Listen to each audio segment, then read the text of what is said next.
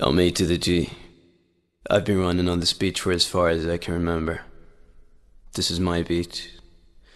This is where I began. Now, 99% of the time when you hear those five words, this is where I began, you hear them from someone who actually reached success. The end, made their dream come true. But not this time. Because this time you hear those five words from someone who accomplished nothing, but still won't quit. See, I accomplished nothing yet because I got unlucky. I got misfortunate.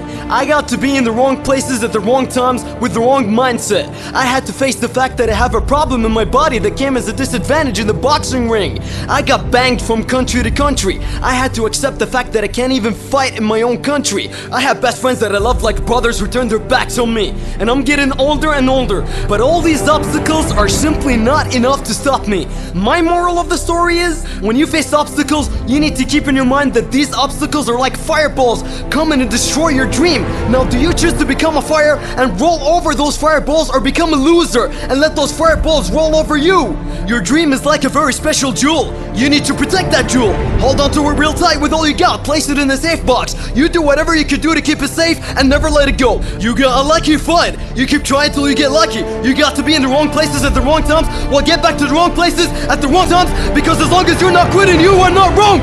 You think your age is catching up with you? Maybe you're too old for your dream? Well, there's a first time for everything. Why not be the first old champion, swimmer, runner, musician, actor, whatever it is? No, you have a dream, but you have a problem in your body, maybe a disability or just something wrong. You have to fix it. But if you can't fix it and it's dragging you to the bottom, well, you shouldn't let that disability drag you to the bottom. Instead, you get yourself to the top and drag that disability up to the top with you. How's that for a dream?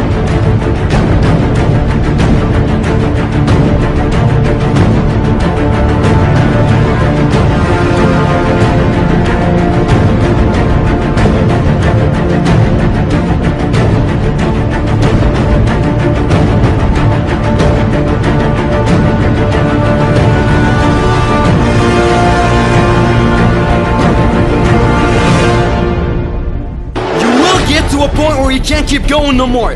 But the moment you cross that point is the moment you become different than others. Don't think less of yourself because with your power as an individual, you can fly over the universe and the sky is not the limit. And when almost all of the odds are against you but you still believe in yourself, that is what defines the true power of self-belief.